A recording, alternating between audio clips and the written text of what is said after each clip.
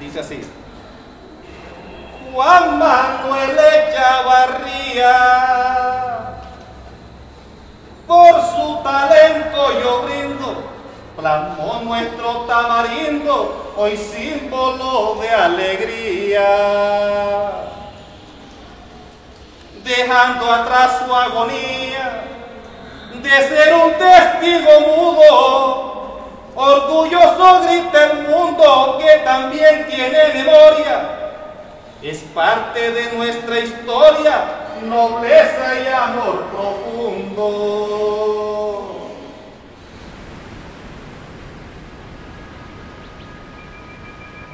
¿Será que el arte es capaz de ayudar a romper la indiferencia?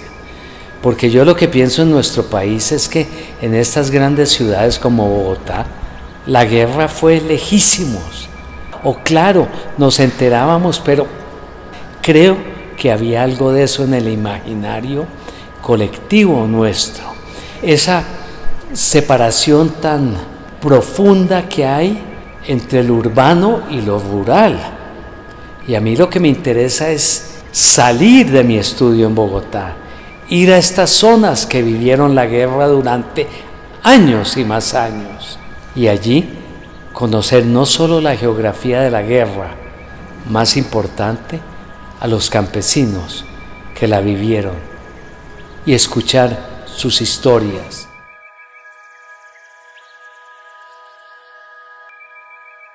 Fue un equipo interdisciplinar que se formó en la fundación, que no solo era el artista Juan Manuel, sino que estaban eh, profesores de antropología, museógrafos, videastas y la gente en general del equipo que ha colaborado con la consecución de la obra.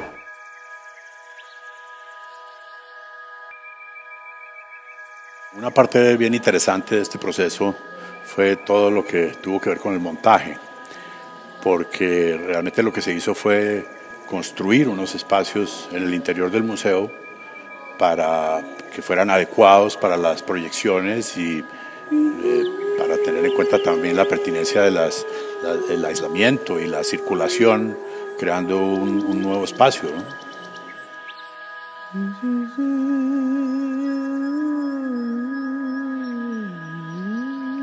exposición tiene eh, cinco líneas temáticas. Una que tiene que ver precisamente con desaparición forzada, otra que tiene que ver con el tema de masacres, como tal, masacres en comunidades, masacres en pueblos, masacres dentro de las mismas eh, organizaciones armadas, legales eh, e ilegales. la otra que tiene que ver con el tema de la educación como víctima de la violencia, que es la obra Silencios, y la, la, última que tiene que ver con los vestigios de la guerra, que es de qué sirve una taza. Oiga, señor presidente, caramba, ¿cómo es que va a gobernar? Porque así los campesinos, hombre, con ellos van a acabar. Hacia la orilla del atrato había, había una casetica así, y había un muchacho de, abajo, que estaba abajo, cantando una composición, un tema, un vallenato. Cuando él terminó, antes yo llamé a Juan, y ya le expliqué y ya me salimos adelante con él. Y ahí le compré la composición.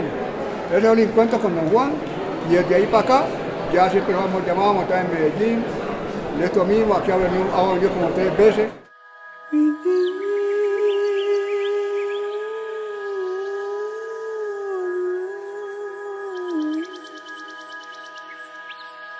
Juan Manuel crea aproximadamente en 2005-2006 la Fundación Puntos de Encuentro que es como una plataforma, como un espacio, digamos, donde la idea es preservar la memoria del conflicto a través de proyectos artísticos, no solamente los proyectos que hacemos con Juan Manuel, sino proyectos que también hacen las comunidades, apoyar con becas a, jóvenes campesinos de estas regiones.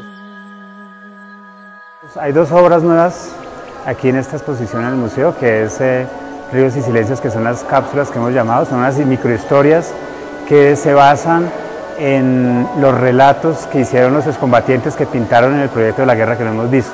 Este año decidimos con los mismos pintores seleccionar unas pinturas y eh, poder lograr ir a los sitios donde ellos pintaron y donde cuentan la historia. La cogieron, la llevaron y la amarraron aquí, donde miramos este árbol, Ahí la amarraron y la tuvieron tres días. Esta pintura viene hecha en, de la parte de Putumayo.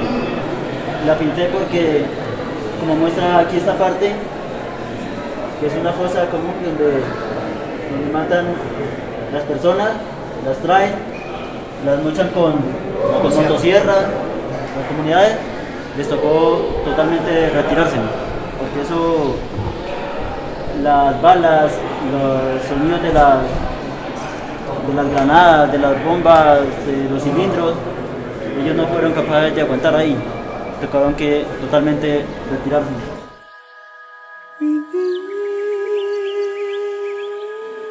Estas pinturas contienen historias de guerra que no habían sido reveladas antes. Cuando se pintaron, ya hace unos 10 años, durante los talleres que desarrolló la, Fundación Puntos de Encuentro con Desmovilizados, no era posible dar a conocer las historias contenidas en las pinturas y tampoco la identidad de los autores. Hoy, debido al momento que vive el país, tenemos la oportunidad de oír la voz de los autores narrando lo pintado en cuatro breves historias en video y con testimonios escritos acompañando las pinturas.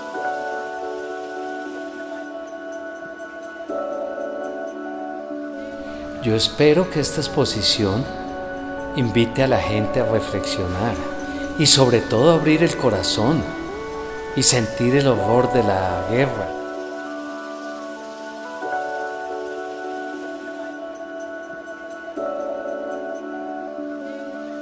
Aquí estamos frente a una imagen de una de las series más importantes que son las escuelas abandonadas por la guerra. Precisamente detrás de ese tablero está la masacre, sin mostrar la masacre, porque a mí en mis imágenes no me gusta mostrar el horror en una forma directa, sino más bien indirecta, para que nos conmueva.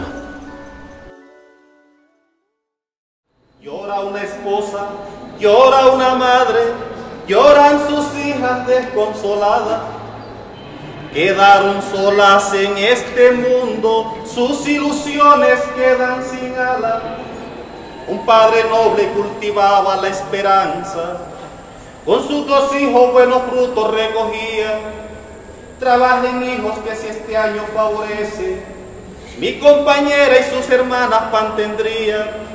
Somos honestos, no le hacemos mal a nadie. Manos violentas nunca nos señalaría. Una noche silenciosa, muy triste, anunciaba un nuevo amanecer.